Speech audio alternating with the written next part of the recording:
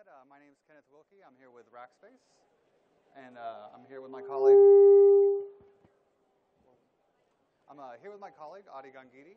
Um, like I said, we both work at Rackspace.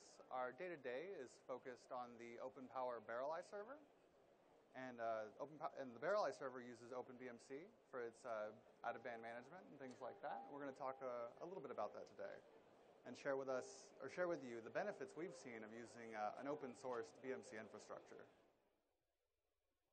Uh, so the main, just to get started, uh, I wanted to discuss.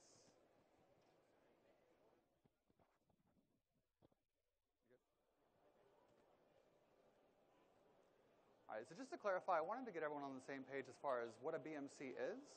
Uh, the acronym itself stands for Baseboard Management Controller.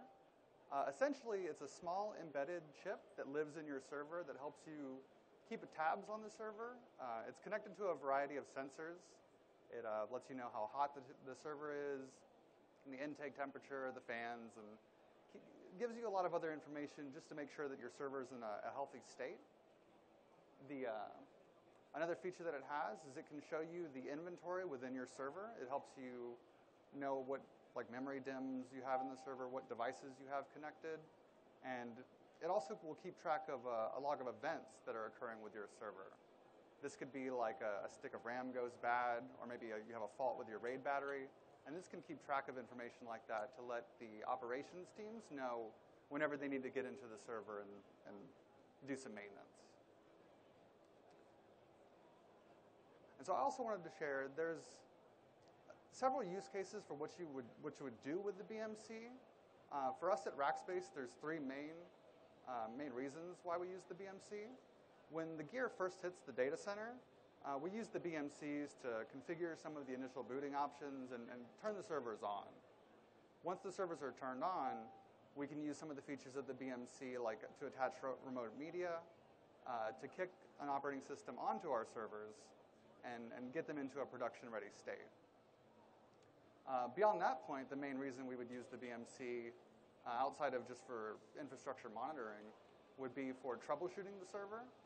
Uh, when a server has some kind of issue, we'll log into the BMC. We can get access to a remote console to the server. Uh, we can run a few diagnostics. We can update firmware, and we can do a couple things to get a little bit more insight into what's going on without having to have a DC operations technician go inspect the server uh, in person. And so most BMCs are based on a pretty common architecture. Uh, the overall design is uh, an industry standard, industry standard model uh, called IPMI, which is the Intelligent Platform Management Interface. Uh, it basically describes a few components in the way that they communicate with each other, uh, how the BMC can... Sorry, we're going to try this one and see if this helps a little better. So right. keep it right up to your mouth. Okay.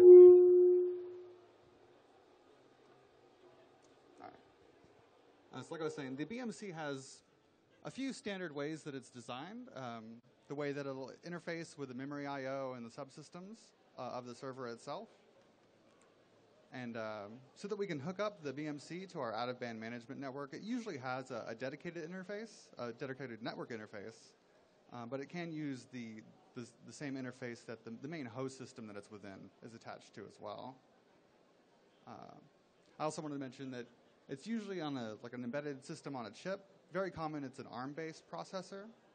Uh, we, we have on the slide here that it's often running Linux, but it's usually running some kind of, of real-time operating system. And the, the, the, late, late trend is that it will progress towards using a, a Linux operating system, such as what BMC uses, or OpenBMC uses. And so typically, the, most of the BMCs that are out there today are like the, uh, the DRAC you'd find in a Dell server or ILO in an HP. Uh, on the power systems, you'd find their, their FSP uh, BMC. And typically, these are provided, these are built and provided for each product by the vendor who, who makes the product. The, um, usually the security model of a BMC is, is not very strong. They're very heavily built around IPMI. And uh, from just a purely protocol standard, IPMI is, is not very secure. Um, it, it has authentication, but it's very weak, and the, the, the, protocol is just very dated and very vulnerable. Uh, most of the tooling to interact with the BMC is based on IPMI. Uh, there's not a lot of tools and libraries that interface with IPMI. Generally speaking, if, if you want to interface with it, you're going to probably be using IPMI tool. And the, the last thing I wanted to mention was that there's, there's no easy way to add your own software to, to most of the BMCs that are out there. Uh, typically, they're, they're not meant to be customized, and the, the licensing around customizations that you can make for some of them is very restrictive around how you can share that with, uh, with other people who might be interested in that. And so we've seen that this is a lot different with a, an open source BMC, and Adi is going to come up here and, and share with us some of the differences that we see with that.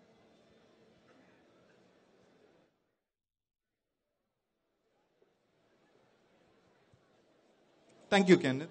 Um, I'm Adi, and um, Kenneth talked about Kenneth talked about uh, how there's a lot of limitations with a conventional closed source BMC. I'm here to talk about how uh, OpenBMC accounts for some of these limitations. In other words, I'm going to sell you on OpenBMC for the next few minutes. Um, so to start with, um, something cool with OpenBMC is that you can build your open, own OpenBMC binary this is not possible with uh, conventional BMC. Uh, with OpenBMC, this is possible because the OpenBMC source code, it's uh, readily available on GitHub. Also, um, the code's very well maintained. Um, there's, there's timely updates um, being done there. Um, and the build process is extremely easy. Um, all you have to do is run those three commands um, that you see on screen, and it would take about an hour or so to run it on our platform. Um, and there we have a OpenBMC binary that we can flash in our system and test it. It's that easy. Another cool thing with OpenBMC is basically the fact that you can see the source code readily available to you, right? And this uh, comes up with advantages like uh, you can do security audits on the code that's already there. And you can also do uh, do some checks on the commits that are coming in. And if you feel like they, they're going to add some potential security vulnerabilities, um, what you can do is kind of be a part of the review process, suggest changes, and make sure they're resolved. Also, with OpenBMC, you flash the binary you build, right? So that that's that's uh, good in, the, in, in because like you don't have to worry about whether that binary was digitally signed or not, or what source was it built from, right? You have that clarity.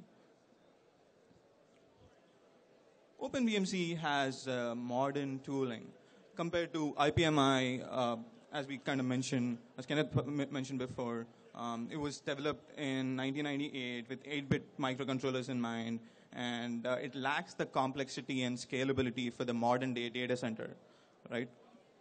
But I, uh, OpenBMC kind of like uh, accounts for this by making some modern design choices. To start with, um, OpenBMC has a, a, REST API to ease automation tasks. So you can make targeted direct REST API calls to get the parameters you exactly need. You don't have to run a very generic tool like IPMI tool, get a bunch of text and parse it to get your parameters. You can just make directed calls. So that's a big advantage. Um, another thing with OpenBMC is that you can SSH into the BMC and look at the host console. Again, you don't need a specific tool to do that. You can build one if you want to, you if you use that kind of flow, but you can, all you need is basically an um, SSH. Also, um, another uh, good advantage of um, OpenBMC uh, is that it runs the latest stable Linux kernel. I think they're going to move to a 4.4 kernel right now, so that's pretty new. Um, and what are some of the advantages of running a latest Linux kernel, right?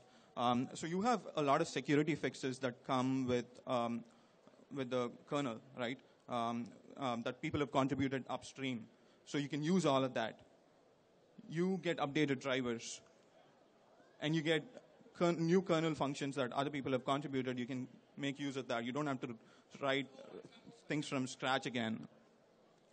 Also, uh, the fact that you're running Linux kernel on OpenBMC helps you uh, very easily run any average app that kind of runs on Linux. With uh, another huge advantage of OpenBMC is that you can customize it. So you can customize the OpenBMC source and before you just build it. So you can add services, remove services, or change them before you build it. And once you build it, um, once you make these changes, you can build it and, and test it immediately. So, I, I mean, some, some examples of this are, say you don't like the authentication model in OpenBMC, or you think it could be done a little differently, um, you can go ahead and contribute that. Or you feel like the REST API structure could be changed a little bit, um, you can you can talk to the peers there, uh, uh, developers there, and and you can contribute some source. Um, you you want to integrate your app with OpenBMC, but you feel like it'll be a more snug fit if um, you know some things in OpenBMC changed. You can you can you know uh, push some commits for that. Um, let's step back for a minute and think about the significance of this with an example. Um, so like let's take an example of uh, Ironic or OpenStack integration as an app with OpenBMC. So Ironic is our bare metal um, provisioning agent, and OpenStack, which is a superset, is our cloud provisioning system that we use. So uh, if you if you kind of know about OpenStack developers, they tend to be really picky about things. They tend to want to have control on every little bit they work with. So with a conventional BMC, if they wanted to uh, integrate the agent or, or OpenStack with kind of, say, the conventional BMC, they don't have direct access to, access to source code. That's the primary limitation. So they'll have to change the way they do things in order to integrate, which they don't like very much. Um, also, um, with, um, with a, even if you did get access to an, a, so, a, source code of, uh, from a BMC vendor, um, a conventional BMC vendor, um, you get very restrictive licenses. So there is no way you can contribute it back, and, and um, it, it's hard to do that. But with OpenBMC, uh, this integration is much, it becomes much easier. Firstly, you have REST API to make uh, targeted calls to, and you have the ability to make the changes in the source code um, up and push it upstream. That, that they like very much. So uh, also, talking about building applications on top of OpenBMC, um, there is an SDK available for OpenBMC that you can use to test your application uh, in case you don't have the OpenBMC, uh, a, a, server running OpenBMC on your network. So you can use that SDK, build an OpenBMC VM, uh, and then test your application with it.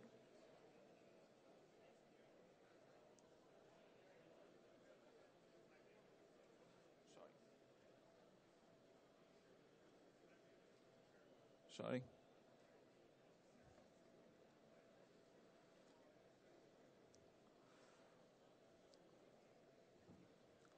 So with OpenBMC, you can contribute to the, to the source. Um, there's already an active community of developers and engineers working on it. Um, a good number of them are from IBM. Uh, some of them are from Facebook. Some of us are from Rackspace. And there's a lot of ODMs working on contributing. You can be a part of it too. There's a lot of transparency in the OpenBMC community. Uh, all uh, the bug reports and bug fix activity is happening uh, publicly, and there's open conversations happening about long-term planning and feature goals and what's the next big priority to pick and work on as a community. So um, also there's a lot of community support on GitHub. There's IRC and mailing lists. So if you want to get started, you can hit up one of these three platforms to get started, and it's pretty. Um, people are pretty helpful. Also, I want to summarize this talk um, by talking about how Rackspace's OpenBMC BMC BMC model in general has changed with OpenBMC. And this is not very specific to Rackspace. It, this could be you. This could be your company, your organization. Um, so a traditional BMC, in the traditional BMC model, the biggest limitation was that we didn't have direct access to BMC source. Um, so if you think of a feature request or a bug um, that we wanted to file, um, what we would do is we would go and talk to the ODM to start with. Then the ODM would uh, probably talk to the BMC OS supplier uh, of theirs. And the BMC OS suppliers would make the change in the source code. And then they would build a binary and then give it to us. Then we would test it and then put it into the data center. It's a long process. There's a lot of communication happening. There's a lot of steps of communication. Uh, as you know, uh, communication is kind of prone to errors. So we can avoid all that with the OpenBMC model that we're trying to follow right now. Um, so with OpenBMC, if we don't like something and if it's a small enough change, what we do is we make that change. Um, and our ODM is aware of this change because all the conversations about uh, you know pushing new changes is happening publicly. So they're aware of that. So once this code gets merged, all they have to do uh, to get the new code is to just uh, sync with the master branch on GitHub. Also, with this new model, we get to take advantage of everyone who's contributing to the OpenBMC source.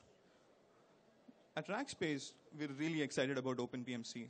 I hope uh, you guys are too. Thank you.